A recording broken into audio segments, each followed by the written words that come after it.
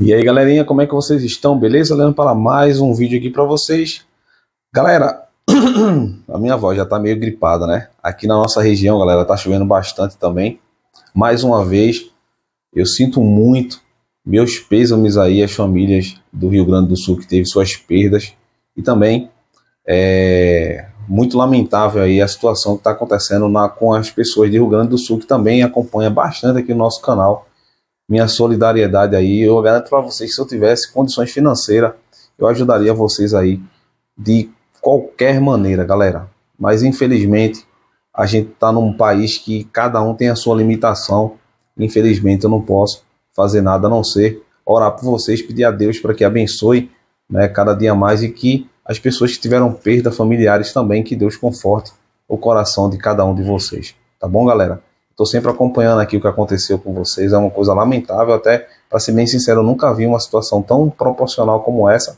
Mas o que importa é a gente aqui ser solidário, galera. E se vocês aí que sempre acompanham meu canal tiver alguma condição, certo, galera, puder ajudar aí, contribua, ajude. Tem sempre algumas empresas aí que tá é, aparecendo sempre em jornal que tá aí é, recebendo doação para que ajudem as pessoas lá, né, galera? É muito triste o que está acontecendo. A gente está começando a ter alguns impactos também aqui no, nossa, no nosso. É, aqui em Pernambuco, em Recife também. Está tendo chuvas constantes aqui e a gente está tendo diversos problemas também por causa do efeito da chuva em maio. Né? No ano passado também tivemos grande tragédia aqui e a gente está tendo alguns probleminhas aqui na nossa região também. Uma delas é principalmente queda de energia. Tá certo, galera? Bom, queridos, falando disso aqui, que eu, tô, eu fiquei um pouco gripado, vocês viram pela minha garganta, eu sempre tenho que estar tá tossindo aqui, então desconsidere qualquer momento que eu fazer isso. Vamos falar aqui, galera, de uma coisa que aconteceu aqui na minha televisão e é bom compartilhar com vocês aqui, principalmente agora que a gente está entrando numa era de inverno. A minha televisão de 58 polegadas, galera, ela apresentou um probleminha que é chamado de mau contato no flat, tá? Esse mau contato acontece nas barras do LED, tá? É um como se fosse um flatzinho. A gente chama de barra, né? Então o que acontece, galera? Quando você liga o seu televisor, ou algum momento você ligar o seu televisor, e você vê que ele não dá imagem e só sai o som, nem tudo é queima do LED, tá? Beleza, galera? Nem sempre tudo foi o LED que queimou. Principalmente quando você desligou sua televisão boa e quando foi ligar ela num tempo de frieza, ela não acendeu, tá certo? Então, vou dar uma dica para vocês. A minha televisão, por ser de 58 polegadas, ela tem um barramento, galera, que vem uns LEDzinhos, sabe? Então ela vem uma reguinha, certo? Cheia de LED, que se encontra na metade com outra, certo? E ali ela tem um encaixe, um conector entre uma e outra, para fazer a combinação até o final. Por ela trabalhar em série, então elas fazem essa ligação aqui, ela interliga uma com a outra na metade, no meio, certo? Para que assim quando, se caso um, do la, um, um setor de lá der defeito no LED, você troca só aquela barra para não ter que tirar toda a barra. E às vezes quando coloca fica meio torto, entendeu? Apesar que tem os encaixes sempre dos lados ali, mas esse defeito ele ocorre muito no tempo de frieza. Essa televisão já tem esse problema já faz um ano, um ano e pouco, quase dois anos. Então, o que é, o que, é que a gente faz para evitar que esse problema aconteça? Quando o, o, a televisão está muito fria, a condutividade ali pode se perder, pode causar um mau contato. Até o presente momento, a minha televisão não está tendo problemas de ter que desmontar ela para consertar. Mas geralmente, às vezes, tem que desmontar isso. E o que, é que a gente faz quando desmonta para fazer esse reparo? A gente não troca os LEDs. Naquela parte ali onde se encaixa entre um, um, um, um conector e outro, a gente ali faz uma ligação, uma ponte certo? Com a soldagem, com um fiozinho fininho e do outro lado também isola, certo? Para evitar que entre ali é, algum tipo de é, umidade. Por a gente estar tá nessa época de inverno, galera, muitas televisão LED, entendeu? Que LED, não importa qual seja a tecnologia, elas podem dar muito problema. E a solução, galera, para que vocês não percam o seu televisor, é manter ela ligada. Por mais que isso assuste vocês, mas é manter ligada. Como por exemplo, a minha televisão já apresentou isso hoje, devido a fortes chuvas que a gente teve desde dois dias atrás. Então o que é que acontece? A gente deixa a nossa televisão ligada.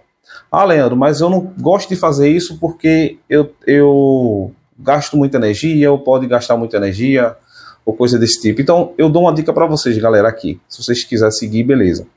A dica que eu dou, galera, é que quando você perceber que realmente está o tempo muito frio e muito chuvoso, até que seja aquele chuvisquinho, que aquele chuvisco é o pior que tem, entendeu? Por favor, se vocês puderem fazer isso, é manter seu equipamento ligado. Porque só assim, galera, você não percebe ao seu redor, até quando você respira, você está inalando um pouquinho de gotículas de água minúscula que fica vindo ali com o vento, entrando nos seus equipamentos e você não percebe. E isso causa oxidação até nas placas, entendeu? Então esse mau contato que dá também dentro da, da parte do flatzinho ali, né, do, do barramento do LED, isso dá devido à umidade, tá? O lugar está úmido e aqui na minha região é muito úmido, entendeu? Então o que acontece, galera? Começou a chover, mesmo seja fraquinho, viu que o tempo está fechado, sabe que vai dar aquela chuvinha demorada, sabe? Deixe seu televisor ligado. Pode deixar seu televisor ligado. Então o que, é que vai acontecer? O seu televisor vai ficar morno. Então, se essas gotículas de água tentar passar na parte onde entra ali por dentro do display, ou se ela passar ali para dentro de perto das, das placas, seu equipamento está ligado. O que é que vai acontecer? Simplesmente, galera, claro que a gente não está olhando a olho nu, mas essas pequenas gotículas elas vão é, receber o impacto do ar quente e ela vai evaporar, entendeu? E isso não impedindo que ela realmente tenha contato, seja gotícula de água minúscula, imperceptível, é, com essa temperatura impede que ela encoste nas placas e isso não gera aquela oxidação nas placas. Por isso que vocês veem que no mar, né, vocês podem ver que quem mora perto de praia, a maresia corrói muitas placas, principalmente por causa do sal. E segundo, porque quando a onda do mar bate, né? Vocês não percebem, mas vai saindo. Vocês, algumas pessoas dá até para perceber, dependendo do ângulo que tá, principalmente à noite, vocês percebem que vai, ó, como se fosse um, uma poeirinha. Aquilo ali, além de ser água é, com sal, galera, aquela ali é que são as gotículas que eu tô falando para vocês. E quando você também perceber, galera, que, so, que você tá numa área que você tá olhando assim, ó, ao seu redor, e tá vendo que tá tendo neblina, neblina é gotículas de água, só que tá tão concentrada que você consegue ver. Mas essas mesmas gotículas também estão dentro da sua casa. Você olha assim de, nossa, aqui na rua, você olha assim, por exemplo, perto de você mesmo na sua casa. Você olha assim para a rua da sua casa e diz, nossa, aqui está realmente cheio de neblina, mas já está dentro da sua casa. Só que você não vê. Só quem está do lado de fora, porque daqui para o seu campo de visão chegar até lá, então monta-se uma barreira maior, então dá para você ver com a expansão mais ao seu redor, você não dá para ver. Tanto é que se você chegar perto, você não vai perceber muita, muita umidade. Então, galera, não é só televisão. O que vocês puderem deixar ligado, vocês deixem. Outra dica também que vocês podem perceber que tem umidade na sua casa, que vocês têm que realmente deixar esses aparelhos ligados, é vocês ver os celulares de vocês. Vocês percebem que o celular de vocês, quando está na época de chuva, quando você está deixando ele para cima, você quando bota a mão percebe que ele está molhado, está frio demais? Então, você aí percebe é, outra coisa também. Ah, Leandro, mas eu tenho medo também que o meu celular seja a ter algum probleminha. Simples, galera. Você deixa no YouTube, deixa ele rodando. E bota ele conectado ao, ao, ao carregador. Deixa ele ali, ele vai começando a mornar, ele não vai esquentar muito, ele vai mornar entendeu? Ou se não, você gosta muito de navegar, você vai estar usando ali, ele vai estar aquecendo, então não vai dar esse tipo de. É, não vai molhar a parte de cima, porque tem gente que dá muito problema no alto-falante também, principalmente na parte de escutar, porque entrou água ali por causa da umidade, porque ele está para cima e a água vai, ó, e cai ali sem você perceber com o tempo, dá esse problema, você tem que trocar ou o fone que toca, o alto-falante que toca ali quando você recebe chamada ou escuta música, ou seu alto-falante quando você está aqui recebendo o retorno de alguém que está falando com vocês, beleza? Mas o importante aqui, galera, é falar sobre TVs. Essa daqui, ó, que ela tá aqui com, ela tá aqui no da Elsa, está no History 2. Aliás, History 2 não, tá lá Gases e Pelados, perdão, tá no Discover. É, ele, ela fica ligada direto. Ela, ela é carregada na energia solar. Mas, porém, hoje eu não deixei ela na energia solar, tá?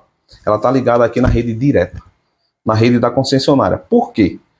Porque por não estar tá gerando muito bem, né, por eu quando eu saí hoje eu vi que realmente estava é, o tempo muito nublado, eu desliguei meu inversor de tensão e, e fiz a ligação direta aqui para que fique funcionando toda a parte aqui pela concessionária. Liguei o disjuntor ali e o que é que eu fiz? Saí e deixei a bateria só recebendo carga básica do painel, porque por mais que eu tenha aqui nove painéis de 280 watts, mesmo assim é, não estava sendo suficiente porque a gente estava com sombreamento, tá, galera? Então, sombreamento impede com que os fótons ali do, do, do, da, da, da, parte solar, né, do Sol, né, passem e ele não converta toda aquela partícula em energia, né? Então isso aí fica limitado. Então, em vez dele chegar na sua potência máxima, ele fica ali trabalhando com uma potência muito baixa. Então é bom a gente que trabalha com off-grid sempre deixar só no modo carregando e usar a concessionária. Por quê? Porque aqui do nada choveu apagão, entendeu? Aí sim a bateria entra em operação, 900 amperes de bateria, dá para trabalhar até com a geladeira aqui até as 5 às 6 horas, 7 da manhã. Beleza? Mas fora isso, galera, focando aqui na televisão, queridos, choveu, não importa qual seja a polegada, mantenha sua televisão ligada. Outra dica aqui antes de finalizar esse vídeo, galera. Se você também está com sua televisão desligada e você está percebendo que está frio a sua casa e você passar a mão na tela da sua televisão e perceber que a sua mão, sabe aquela, aquela a, quando o carro está é, muito úmido também, que você passa a mão e escreve até a sua letra no, no vrido? A mesma coisa acontece na tela da sua televisão. Significa já um estado de alerta, que sua televisão está recebendo já umidade, não só na parte da frontal, como também na parte traseira. E daí você pode também ter um curto na sua placa do nada porque ela está desligada. Então o que é que você faz? Liga a sua televisão. Entendeu? Os problemas que davam muito nas televisão de tubo, galera, para quem não sabe, os técnicos aí sabem o que eu vou dizer agora. A chupeta, a gente chama chupeta do tubo, em cima, onde tem um flyback que manda alta tensão para a chupeta. E a gente, às vezes, criava uma, isola uma isolação ali, limpava aquela área com óleo Atilube, aquele óleo spray, limpava aquela área ali e colocava a chupeta ali toda a época de chuva, época de frieza. Por quê? Porque geralmente, galera, nessa época as gotículas de água entravam por cima onde tem aquelas passagens ali de resfriamento da placa, entendeu? E o que é que acontecia? Por ela estar tá muito empoeirada dentro, geralmente até com teias de aranha, que a gente eu peguei milhares de televisão assim, então a gente ela cria uma condutividade e o flyback automaticamente começava a vazar alta tensão, começava a chiar, daquele chiado. Até hoje tem gente que ainda tem televisão de tubo e sabe muito bem o que eu estou falando. Então, Previna-se disso, galera. Tá começando a chover, tá chegando a época de inverno, deixe sua televisão ligada. Ela não vai queimar não, tá, galera? Sempre digo para vocês aqui, ó, quer deixar ela protegida, se você tem algum medo de curto-circuito, liga e desliga, é, sobretensão, é comprar um clamper e também um filtro de linha, tá certo? Também. Beleza? Galera, essas, essas dicas aqui, nenhum técnico, quando conserta a sua televisão, vai lhe passar. Tudo isso aqui é um, um, um ensinamento aqui que eu estou passando para vocês. Se sua televisão, galera, começar a do nada apagar, aí você desliga, liga de novo, ela voltou, deu imagem, né? Deu LED, pode ter certeza, deixe ligada que ela vai parar com isso. Pode deixar ligada. Um dia, dois, não importa, deixe ligada. Época de noite, chegou umidade, deixe ligada. É por isso que aqui a minha televisão não dá defeito. Porque nos tempos exatos, no momento certo, a gente trabalha deixando ela ligada. Sai daqui, ó, dorme ligado. Tá aqui funcionando, saio, volto, ela tá funcionando aqui. Já tem já tem não sei quantas mil horas, galera. Deixa eu ver aqui quantas mil horas eu já tenho nessa LG aqui. Deixa eu ver aqui, galera. Vou tentar ver aqui, tentar ser o mais rápido possível, tá? E vou ver que configuração aqui ela tá. Para eu saber quantas mil horas ela já existe. Eu estou entrando aqui nas configurações gerais dela, por ela ser uma WebOS meia lenta, ela dá isso mesmo. Deixa eu ver aqui. Em geral. Deixa eu ver aqui. Sistemas. Vou na parte de sistema aqui. Verificar o tempo dela.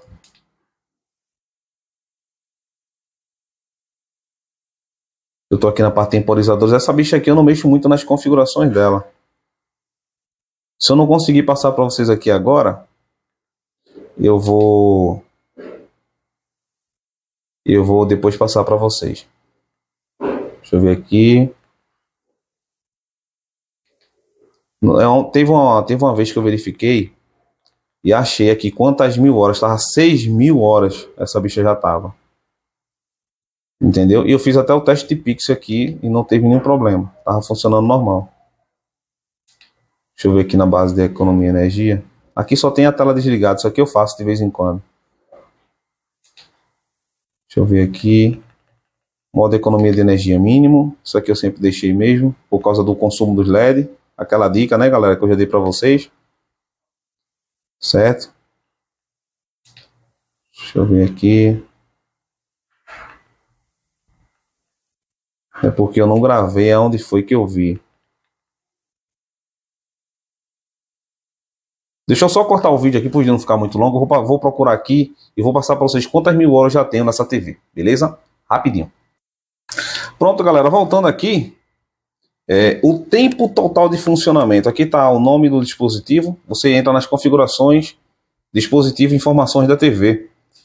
Entendeu? Era para ficar na parte de imagem, mas tudo bem. Aqui está o modelo dela, o nome do dispositivo LG WebOS TV, modelo 50 UQ8050 PSB. É, aqui está o número de série, a versão do WebOS é a 7.3.46. Tempo total em funcionamento: 6.000 horas, 6.409 horas. 6.409 horas. Vocês estão pensando que é pouca coisa, galera? A televisão não faz nem um ano de comprado, eu acho vai fazer ainda, ou já tem um ano, acho. 6 mil horas. 6.409 horas. Então é tempo, viu?